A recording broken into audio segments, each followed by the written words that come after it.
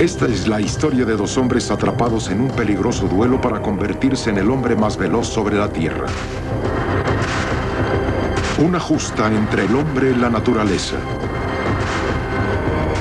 Y el desafío, ser el primero en romper la barrera del sonido sobre tierra.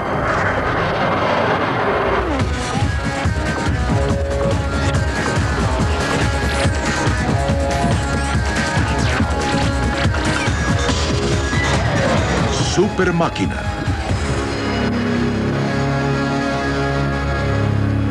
El hombre más veloz sobre la Tierra. Durante los últimos 80 años, la marca de velocidad en tierra ha sido un duelo entre los Estados Unidos de Norteamérica y Gran Bretaña. Este hombre ha roto la marca cinco veces. En 1963 fue el primero en romper la barrera de los 644 kilómetros por hora. En 1964 fue el primero en llegar a los 800. Y en 1965 llegó a los 965. Y ahora, más de 30 años después, Craig Breedlove regresa. Esta vez quiere llegar más allá de los 1125. Es un trabajo difícil, pero alguien tiene que hacerlo y supongo que no estaba haciendo lo necesario. Así que en un lapso de mentalidad positiva decidí crear un automóvil terrestre de velocidad récord y aquí estoy. El objetivo es ser el primer hombre en romper la barrera del sonido sobre tierra. Nadie sabe cuánto afectará la velocidad supersónica a un automóvil. Breedlove está construyendo su nuevo espíritu de América para averiguarlo.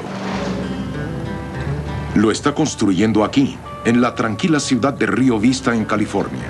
No es la cuna ideal para construir una super máquina.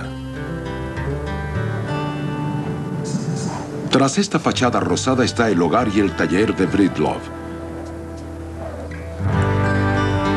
La velocidad del sonido en tierra es de unos 1.190 kilómetros por hora. El espíritu de América está diseñado para correr mucho más. El auto mide 13.2 metros de largo y pesa 4 toneladas y media. Su estructura tubular de acero está revestida de aluminio pulido. Suficientemente amplio para albergar uno de los motores Jet General Electric J79 del Casa Phantom F4 de la Armada, capaz de producir 45.000 caballos de fuerza.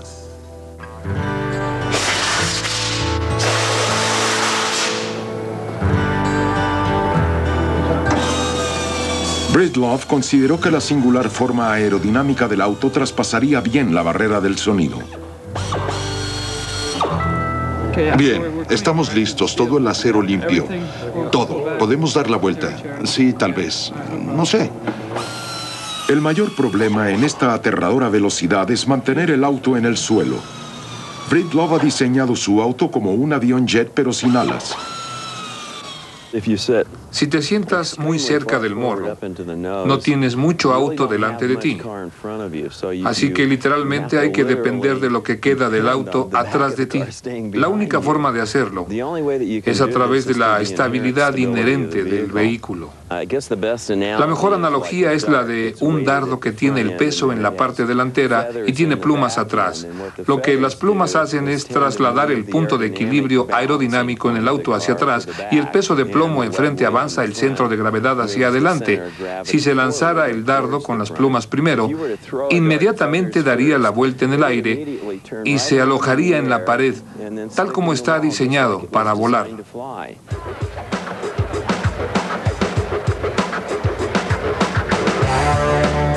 La marca actual de velocidad terrestre es de la Gran Bretaña. El inglés Richard Noble consiguió los 1018 kilómetros por hora en su Trust 2. Es como una obsesión desde niño que sigue creciendo hasta llegar al punto en que no se puede vivir a menos que, que lo intentes. En 1981, Noble llevó su auto hasta las salinas en Utah, hogar de todos los intentos de velocidad terrestre desde los años 30. Para lograr sus asombrosas velocidades, Noble construyó su Trust 2 con ruedas sólidas de aluminio. Pero las ruedas derrapaban en la sal dura. Necesitaba desesperadamente una superficie nueva y más blanda. El desierto de Black Rock en Nevada fue la respuesta. Allí no había corrido ningún auto de velocidad. Tan pronto lo vi me dije aquí es. Es decir, esto es mucho mejor que Bonneville. Esto es como una mesa de billar de 362 kilómetros cuadrados. De inmediato me sentí con confianza. Me dije, demonios, ahora sí podremos lograrlo. Finalmente, en octubre de 1983, el Trust 2 rompió el récord existente que había durado 13 años. Noble alcanzó una velocidad promedio de 1018 kilómetros, 160 más que la barrera del sonido. Tu proceso mental va tan rápido que puedes percibir todos los detalles. La pista se acerca y pasa por debajo a 1045 kilómetros por hora. En el primero de los recorridos golpeaba el flanco del auto diciendo, vamos, apresúrate, 34 mil caballos de fuerza. Vamos, date prisa.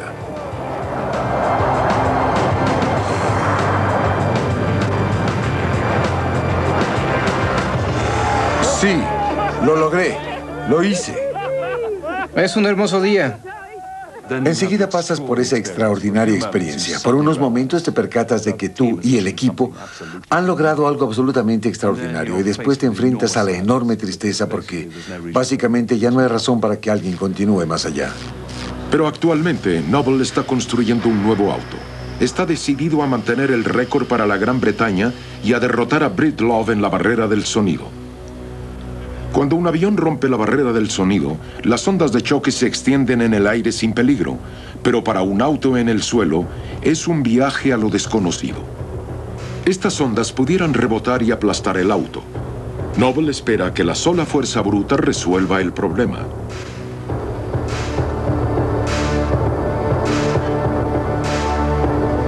Su auto, el Trust SSC, pesa 5 toneladas más que el Espíritu de América y es 90 centímetros más ancho. Tiene dos motores Jet Rolls-Royce capaces de bombear un total de 106.000 caballos de fuerza. Es el auto de velocidad terrestre más poderoso que se haya construido. Al contrario de su archirrival Breedlove, Richard Noble ha decidido no pilotearlo él. Me encontré en la disyuntiva de pilotear el auto o dirigir el proyecto y pensé, yo ya he piloteado el auto, ya tengo el récord, será mejor que esta vez dirija el proyecto. Ha decidido ceder los controles a Andy Green, jefe de escuadrón de la Real Fuerza Aérea. Lo único que pudiera representar un problema al alcanzar altas velocidades es que las fuerzas giroscópicas en los neumáticos traseros se invaden. Se ha diseñado el auto para que funcione bien. He cuestionado todo lo que han desarrollado y he recibido respuestas sensatas. Lo han ideado increíblemente bien. Es el mejor diseño de auto para superar el récord de velocidad en tierra. En este diseño, Andy Green se sentará en el corazón del enorme Trust SSC. Mide 16.2 metros de largo, 3.6 de ancho y pesa 8 toneladas. Tiene más de 20 toneladas de impulso, más del doble de su peso. Desde la punta del morro donde se toma la lectura de velocidad pasando por las secciones de fibra de carbono y alrededor del colector de admisión, con dos motores adicionales a toda velocidad, pasará más aire por segundo en estos colectores del que circula por una casa de dos pisos durante un año. Si hubiera uno en su puerta cuando la abriera, absorbería todo su mobiliario en medio segundo. Mi cabina está situada exactamente entre los motores y es la parte más fuerte del auto. Otra ventaja de este auto es que se puede aumentar la fuerza en el centro para soportar la carga de ambos motores y yo me siento dentro de esa estructura que es la más fuerte y segura que se ha creado. Hay dos computadoras monitoreando los sensores del auto y 50 sensores de presión. Se puede ver cómo algunos de los sensores pasan por el piso de la cabina, lo que permite ver cómo pasan las ondas de choque bajo el auto cuando alcanza la supersónica. Las computadoras también controlan la capacidad de inclinación del auto para asegurar que corra con la cantidad correcta de carga aerodinámica para no correr el peligro ni de volar ni de elevar demasiado la nariz o enterrarla. Conducir a estas velocidades marca una fina línea entre la vida y la muerte. La aerodinámica del auto es crítica. Un túnel de viento convencional no puede emular los efectos del terreno moviéndose bajo el auto a velocidades supersónicas. El equipo utilizó un programa de computadora normalmente usado para probar los aviones supersónicos. Un pequeño error, como levantar una fracción de centímetro la nariz, causaría que el auto se elevara con efectos catastróficos. Para confirmar sus predicciones computarizadas, el equipo llevó un modelo del auto a un campo de pruebas militar. Utilizaron una pista normalmente reservada para acelerar obuses y misiles a grandes velocidades.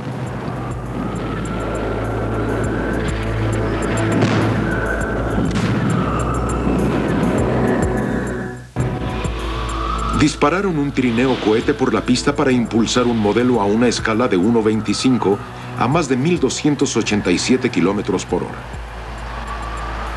Si los resultados coincidían, podríamos proseguir. De lo contrario, no sabríamos a quién creer. Lo más extraordinario fue cuando Ron reunió esa información. Todo coincidió casi perfectamente. Una gran cantidad de casos y sus diferentes aplicaciones dieron como resultado una obra enteramente brillante. El análisis computarizado y las pruebas del modelo coincidieron. Ahora sabían que era un auto seguro. Finalmente, cuando sacaron el chasis completo de acero tubular soldado, la idea del diseño era ya toda una realidad. La forma está diseñada para reducir al mínimo la resistencia del aire y esto ha impuesto controversias en el diseño. No se puede usar la dirección en las ruedas delanteras. El auto sería demasiado ancho, por tanto, lo han construido con una dirección trasera. Dado que existían muchas dudas sobre la dirección en las ruedas traseras, hemos construido un demostrador de la tecnología. Este curioso pequeño es el que tiene la dirección trasera. Lo más importante es que hemos probado que funcionará mejor que la dirección delantera. Los críticos aseguran que la dirección trasera solo funciona en carretillas elevadoras. Noble no está de acuerdo. Lo interesante es que una vez encendido y puesto en posición, puedo conducir ese Mini a 145 kilómetros una y otra vez con una precisión de 2 centímetros y medio. Lo hice derrapar e intenté ver si podía desviarlo y salir de ahí, pero no lo hizo. Al final me dije, esta cosa es perfectamente segura, por lo tanto lo aceptamos. Mi filosofía de diseño difiere bastante de la suya. El Trust SSC difiere en el sentido de que naturalmente en las áreas de interferencia, la dirección trasera, en mi opinión, puede ser problemática. Es como si diera una gran cena y al hacer varias de estas cosas invitara a personas verdaderamente rudas que van a tener que entremezclarse durante la fiesta. Pero si pudiera revisarse nuevamente la lista, quizás acabaría por no invitar a dichas personas. En este caso hemos tratado de invitar solamente a los buenos invitados que no causan ningún problema. Breedlove no cree en utilizar modelos o túneles de viento. Por supuesto hay gran especulación de mi parte, pero es una especulación fundada en la experiencia y en toda una vida de trabajo en esta área. Creo que sé lo que estoy haciendo y por eso voy a construir el auto, poner los instrumentos y subir poco a poco para ver lo que hace. Si necesito hacer cambios, los haré. Todos los componentes del auto de Breedlove están hechos a la medida. Las ruedas están forjadas en aluminio a un costo de 15 mil dólares. Los neumáticos están entretejidos con millones de hilos de filamento de carbono para prevenir fracturas. Cualquier daño en los neumáticos a altas velocidades no solamente destrozará los hilos individuales. Un neumático convencional de caucho se desintegraría totalmente. Uno de los diseños más innovadores de Breedlove es su sistema de frenos de baja velocidad. He ideado un freno que lo llamo mi freno Pedro Picapiedra. Se trata de un esquí que baja hidráulicamente desde la base del auto. Simplemente hace contacto con el suelo y la fricción entre el esquí y el suelo reducirá la velocidad y hará que se detenga a baja velocidad. Construimos un aparejo atrás del camión porque quisimos probar esto antes de ponerlo en el auto y sacarlo hasta aquí.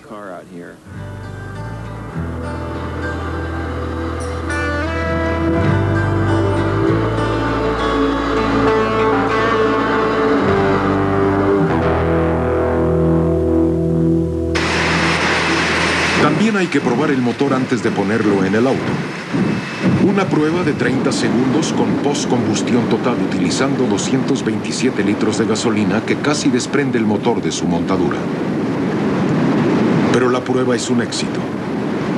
El equipo británico del Trust es sacudido por el rápido progreso de Brittle. Por supuesto, es un concepto muy diferente. Prácticamente es un programa en blanco y negro. El suyo es un auto blanco, es pequeño, de una máquina, muy esbelto. Es un toque minimalístico. El nuestro es de mucha ingeniería, de dos motores por si acaso, estable, seguro, con un toque de seguridad comprobada. Al otro lado del Atlántico, el espíritu de América está en funciones. Las salinas de Bonneville es un enorme lago seco de sal con una superficie dura y plana.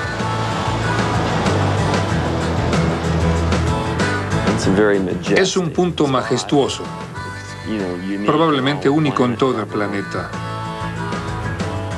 Esto es precioso, blanco, limpio, y cuando el viento sopla, no hay tormentas de polvo.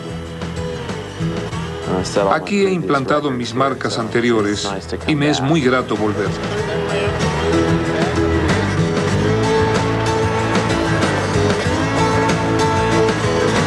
El jefe de la unidad, Deson Milnar, está a cargo de preparar el campamento en las salinas. Es una operación compleja.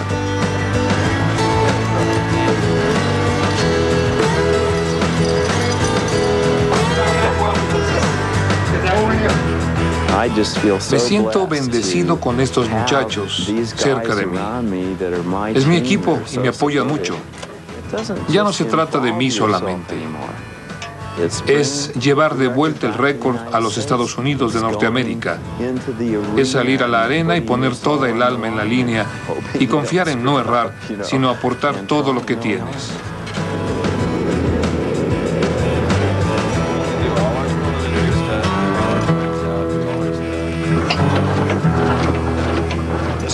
La pista mide 30 metros de ancho. Puedo poner esto a 30 metros. Cualquiera que intente lograr el récord de velocidad en tierra tiene que seguir el estricto reglamento impuesto por la Asociación Internacional de Normas. Antes que un auto corra aquí en Bonneville, tienen que limarse los surcos que hay en la sal. La pista se marca con gruesas líneas negras. La importantísima guía del piloto se coloca en el centro.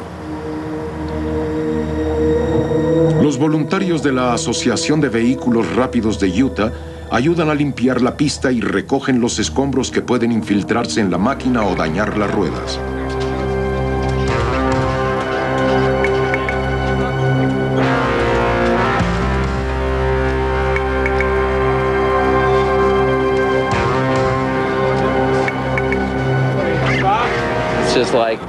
Es igual que ver cómo tu hijo llega a casa.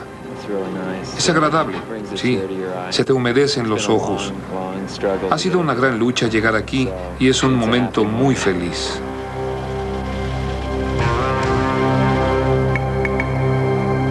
Todavía falta mucho trabajo por hacer. La unidad trabaja 18 horas al día todos los días. Los problemas imprevistos ocurren en el primer recorrido y pasan dos semanas antes que el auto esté listo.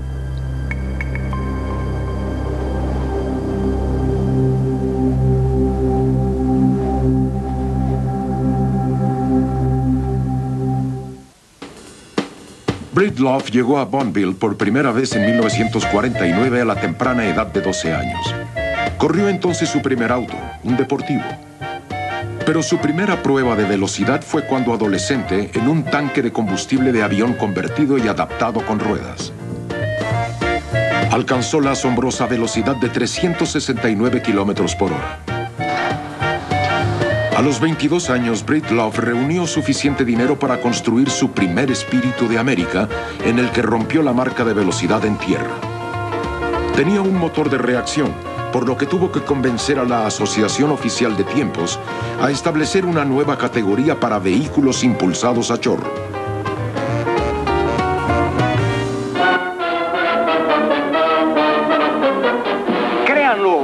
Un auto. Craig Bredlow presentó en Los Ángeles el Espíritu de América, un auto crucero de tres ruedas impulsado a chorro y diseñado para correr 800 kilómetros por hora o más. Bredlow intentará superar la marca de 15 años del finado John Cobb de 634 kilómetros por hora y traer a casa el récord mundial de velocidad en tierra. Los Estados Unidos de Norteamérica están contigo, Craig. Buena suerte.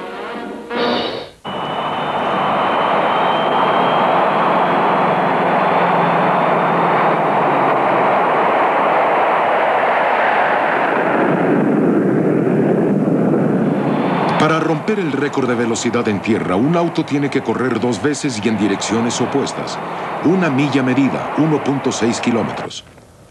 La vuelta debe completarse en una hora y la velocidad oficial es el promedio de los dos recorridos. Romper el récord nunca es fácil. Bridloff tardó dos años en lograr su primera marca de 653 kilómetros por hora en 1963. El de Bridloff fue el primer auto a chorro en romper el récord.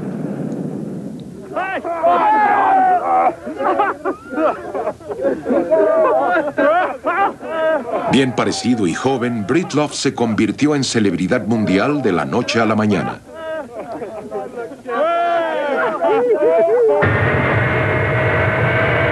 En 1963 llegó a la Salina una nueva generación de autos a chorro. En dos años, Britloff perdió y recuperó su récord siete veces. Pero pagó muy caro romper la barrera de los 800 metros.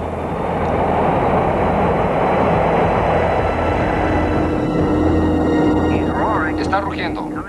Está llegando a la milla. Va muy rápido. Ya salió de la milla. Puedo ver la cola de humo. No ha salido del auto. Ha perdido el paracaídas. Lo perdió. Está fuera de control. Viene el hombre de hielo. Aquí viene. No se detiene. Aquí viene. El espíritu de América rebanó un poste de teléfonos a 643 kilómetros por hora y se desplomó en un profundo estanque de sal. Milagrosamente, Love salió ileso. Oprimí el freno y el freno simplemente no funcionó. Me dediqué a bombear los frenos, pero no funcionaron. ¿No tuvo frenos? Nada, absolutamente sin frenos. Después disparé mi otro paracaídas y no pasó nada. Creí todo perdido. Cuando llegué al estanque vi el poste de teléfonos acercándose y me dije, vaya. Luego apreté los dientes. Y el poste se desgarró como si nada. No había poste y yo pensé, vaya otra oportunidad, tuve suerte. Caí al agua y esta me detuvo, pero cuando vi el banco acercándose pensé, el agua estaba subiendo y así me dije, vaya una manera de morir, voy a ahogarme.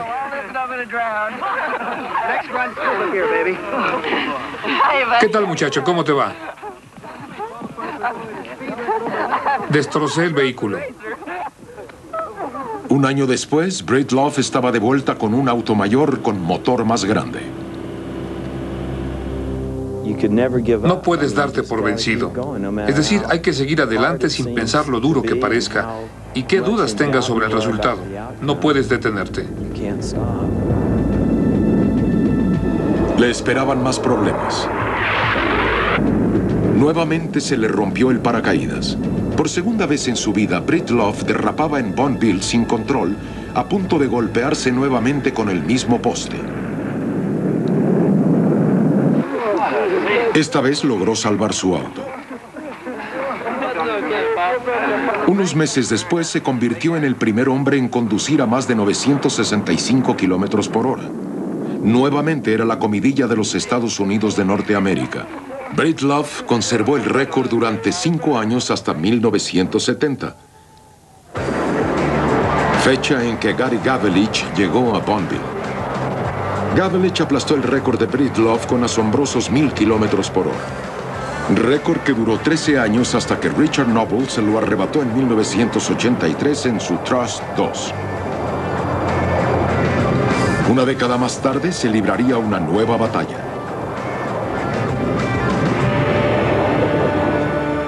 Las salinas de Bonneville, 7 de la mañana, y el equipo del Espíritu de América confía en que hoy será el día que corran su nuevo auto. El plan es realizar una prueba de baja velocidad a menos de 160 kilómetros por hora. Love también desea comprobar el estado de la pista. No está muy feliz. Las compañías locales de químicos están extrayendo sal y han dañado las salinas.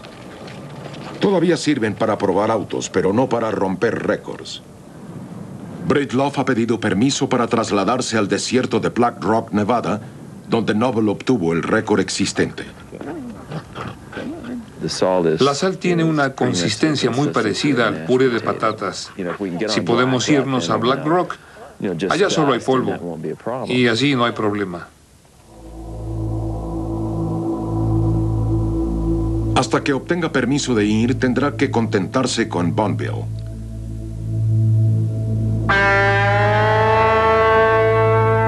Ya es tarde y el auto no está listo. La luz está acabándose, pero Britloff está decidido a realizar la carrera.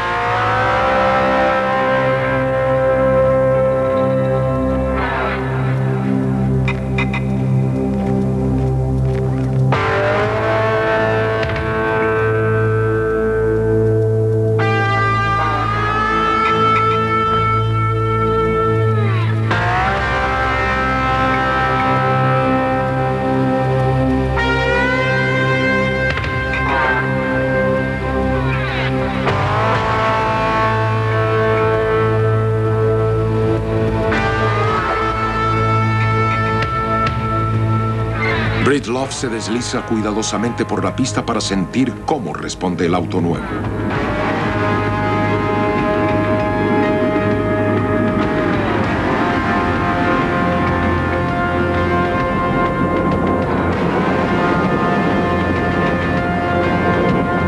Alcanza los 128 kilómetros por hora y el auto va bien. Pero en la luz que muere al final de la carrera, pasa por sal gruesa. El equipo pasa los siguientes cinco días limpiando la sal de los cojinetes de las ruedas para evitar que se atasque. También tienen que reemplazar los delicados sensores electrónicos. Espera aquí, necesito que me den... Mientras tanto, en Inglaterra, unas 10 horas después, el equipo del Trust lleva el nuevo auto a una pista de aviones para su primer recorrido. Esta es la culminación de más de dos años de investigación y 75 mil horas hombre. El proyecto está patrocinado por más de 200 compañías distintas. Andy Green está muy confiado. El concepto real de abordar un vehículo increíblemente poderoso es un suceso cotidiano para mí. Puedo revertir el hecho de que sea el auto más poderoso del mundo diciendo que es tan poderoso como el avión que he venido volando en los últimos 10 años. En realidad no es para tanto. En cierta forma el hecho es que pesa la mitad y por tanto será dos veces más veloz. La mitad de peso es bueno porque significa que es doblemente fácil controlarlo.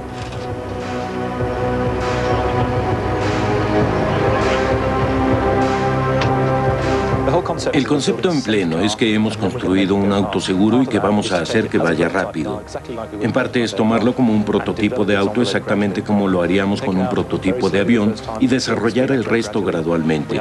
Sacarlo en forma lenta la primera vez y subir la velocidad poco a poco. Tenemos 147 sensores a bordo. Las computadoras los monitorearán para saber todo lo que pasa en el auto todo el tiempo. No significa un punto negro en el récord de velocidad en tierra. Irá poco a poco desarrollándolo. Como consecuencia natural, pasaremos a supersónica.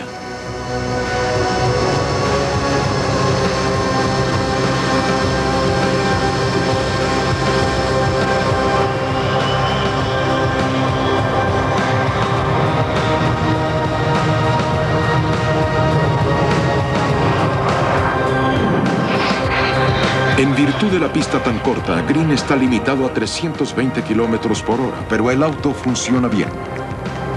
Los motores se acoplan perfectamente bien. Todo en la cabina está adaptado y trabaja perfectamente. Es ideal. La dirección trasera que presentaba la gran incógnita no tuvo problemas. Ha sido verdaderamente buena, fabulosa, exactamente lo que queríamos, exactamente como lo esperábamos. El auto se ha portado muy bien.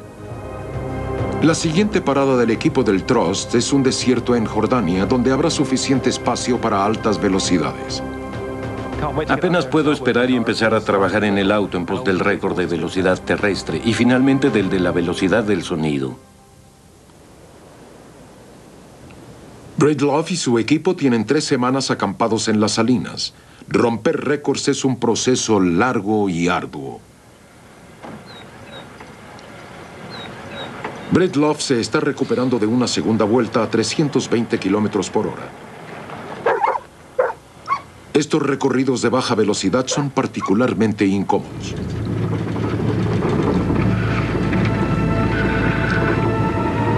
Al día siguiente, Britloff se prepara para su tercera vuelta, que está planeada para ser mucho más veloz. Esta será la gran prueba tanto para él como para su auto. Chris, las bujías en los puntos superiores, por favor. Todos estamos en nuestro lugar con la cara fulgurante, porque es la forma de iniciar un nuevo día. Hay una parte de mí atemorizada porque no lo he hecho en mucho tiempo. Tengo un poco de aprensión preguntándome si todavía tengo lo necesario, si no soy demasiado viejo para esto. Es algo difícil, es decir, implantar una marca de velocidad es fácil de decir, pero difícil de realizar. El plan de esta carrera es llevar la energía un paso más allá, utilizar el 90% de la capacidad de la máquina sin la postcombustión. Solo se trata de familiarizarse de nuevo. Estamos viendo los aparatos para rascar la sal que tenemos en la parte posterior de la rueda y tratamos de mantener la sal bajo el carenado y así realizar un buen recorrido.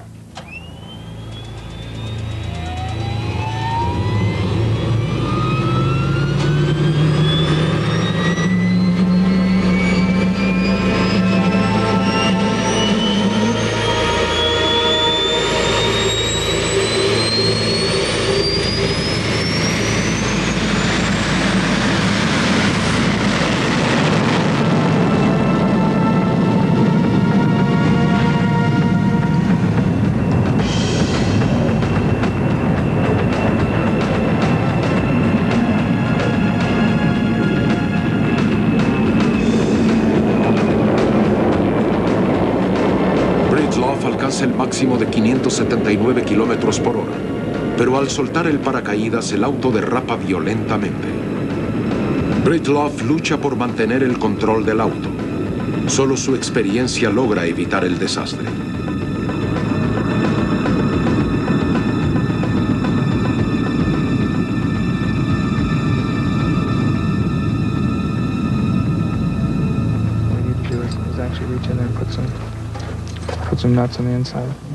Un Breedlove conmocionado sale para revisar la pista, dejando a sus hombres pensando en qué pudo salir mal. El paracaídas hizo que el auto se fuera de lado y se atascó totalmente. No pude hacer nada al respecto. Por supuesto, tuvimos que corregir el problema, que es muy peligroso. Como está ahora, tenemos que... Bueno, esto es parte de lo que estamos haciendo. Este es mi trabajo. Esto es lo que pasa cuando se saca un prototipo muy bueno. Hay que quitarle todo lo malo. Afortunadamente no fuimos mucho más rápido. De cualquier modo, estamos todos aquí en una pieza y vamos a arreglar lo que está mal. Tomaremos alguna acción y volveremos a intentarlo. Antes de trasladarse al desierto de Black Rock, el equipo prepara el auto para el último recorrido en la sal. De pronto, hay un incidente inesperado que devasta totalmente a Breedlove. Anoche un automovilista mató a mi perro Midnight. Fue por falta de cuidado. Por esa razón, hoy no me siento muy bien. Creo que lo único con que contamos en la vida es el amor. El resto es algo que, bueno, una parte de mi vida realmente muy importante se perdió ayer. Sé que me repondré. El récord está listo. Solo quiero irme de aquí. En este momento, no me importa si no vuelvo a venir a Utah. Trataré de poner un espacio entre la pérdida de Midnight y tratar de correr en el auto.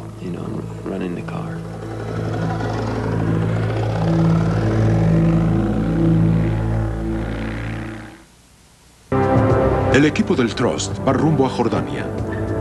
Solamente llegar allí es todo un reto. Para acomodar las 5 toneladas de equipo y a 25 personas, tomaron prestados el Antonov 124, el avión comercial más grande del mundo.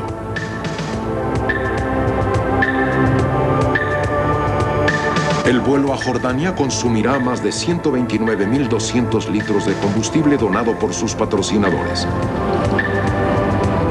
Británicos el reto de la velocidad terrestre es ahora una realidad. Por fin Breedlove tiene un competidor, aun cuando correrán en partes opuestas del globo.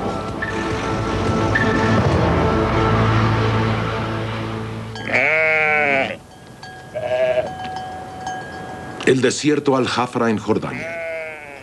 El último británico en hacer época aquí fue Lawrence de Arabia. El equipo del Trust ha escogido este nuevo lugar por su tamaño y supuesto clima ideal. El equipo ha estado acampado aquí durante tres semanas y hasta ahora solo han corrido una vez el auto. Tuvieron problemas técnicos inesperados, entre ellos traer refacciones desde Inglaterra. También tuvieron que limpiar de piedras y escombros la pista. 17 pistas separadas, cada una de 16 kilómetros de longitud. Pero aún con esta cuidadosa preparación, las pistas dejaban mucho que desear. En el primer recorrido de pruebas, el Trust se encontró con una ruta beduina que pasa por el desierto. Las ruedas de dirección trasera perdieron contacto con el suelo durante más de 22 metros. Hoy están planeando correr nuevamente el auto. Para asegurarse que el desierto estará libre de beduinos, nómadas y sus camellos, el rey Hussein ha ordenado a la policía militar que los mantenga alejados de la zona. Jan Millington, jefe de escuadrón de la Real Fuerza Aérea, amiga de Andy Green, es la encargada de coordinar las comunicaciones para el equipo del Trust. Una vez segura que la pista está libre, dará la señal a Green para iniciar el recorrido.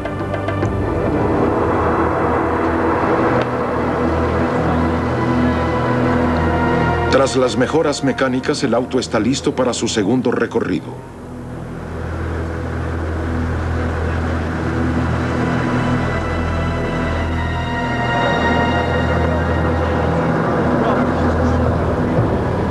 El plan es acelerar a 563 kilómetros por hora, pero sin postcombustión.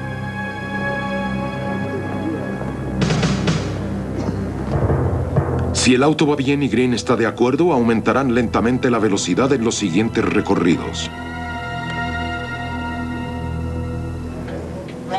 Todo preparado. El equipo del Trust está listo. Dos horas después, Andy Green recibe luz verde para subir a la cabina.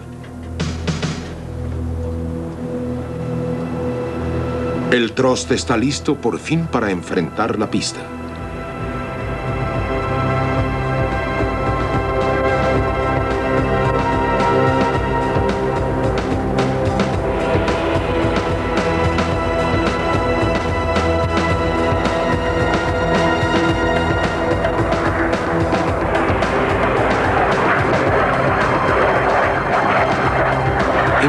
Segundos, el Trust alcanza una velocidad de 532 kilómetros por hora. Hay un problema con la dirección en las ruedas traseras. Las ruedas vibran mucho causando serios problemas a Green.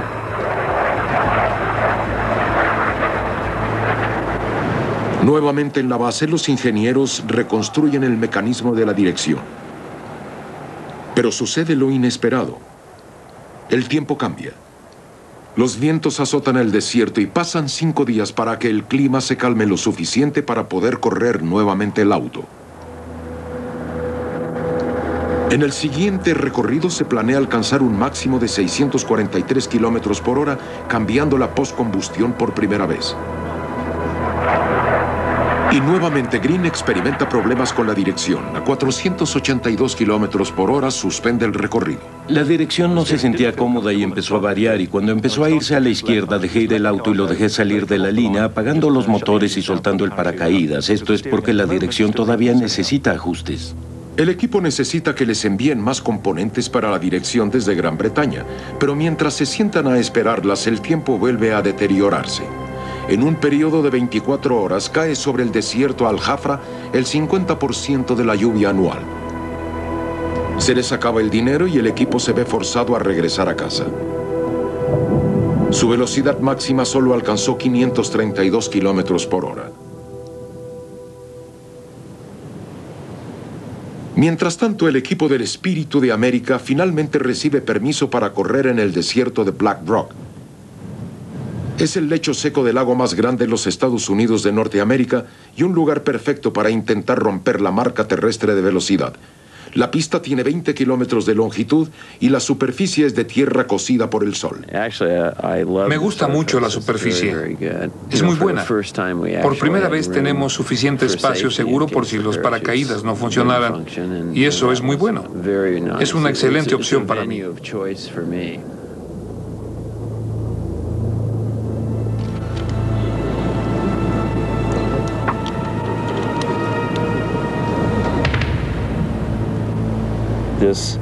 Hay una circunstancia muy singular para mí y es la posibilidad de sentir la máxima velocidad que se puede experimentar.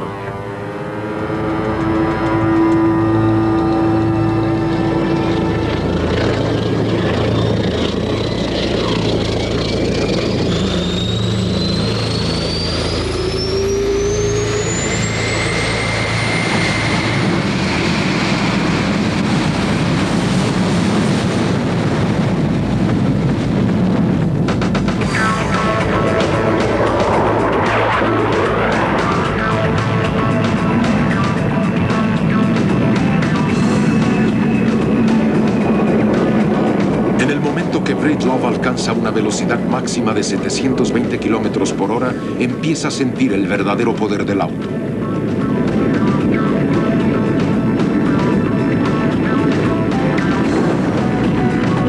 Cubre 16 kilómetros en menos de 90 segundos.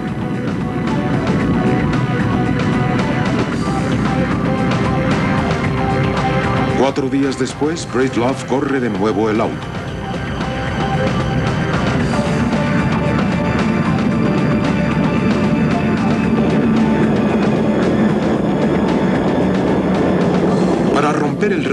Velocidad terrestre, debe alcanzar un promedio oficial en ambos sentidos de 1028 kilómetros por hora. Primero quiere probar los paracaídas, restringiendo la velocidad a menos de 965 kilómetros por hora, pero todavía hay problemas. Se va de lado de eso. Quiero decirte que es un recorrido horriblemente violento. A pesar de haber alargado las cuerdas del paracaídas, la bóveda sigue llevando al auto de lado. Justo ahí, es decir, quiero ver si funciona. Claro. Bueno, ¿y si no funciona? No lo hace. Exacto, y es horrible. En cierto momento me imagino que levantaste la parte de atrás y así es como enterraste el morro y rompiste el panel. En este momento temo usarlo. Es decir, solo que... Destrozaste esto. Mira, lo levantaste. No sé qué hiciste aquí. Vamos a tener que regresarlo, llevarnos el auto y repararlo. Entiendo. El equipo trabaja durante la noche para reducir el tamaño del paracaídas. A la siguiente mañana planean probar el auto a 965 kilómetros por hora. Fue una carrera que Britloff jamás olvidará.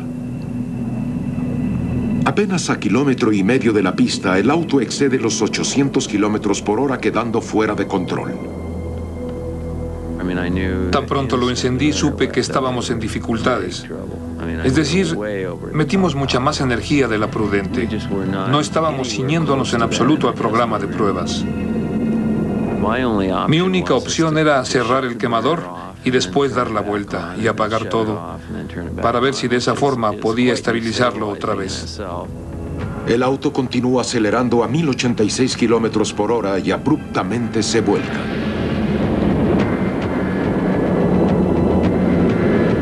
No sabe si va a dar la vuelta completa o va a girar o qué va a pasar.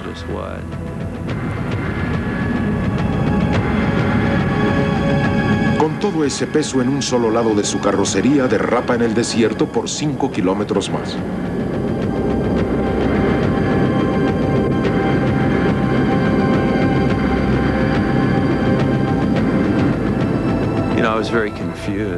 Estaba muy confundido en cuanto a por qué hizo eso.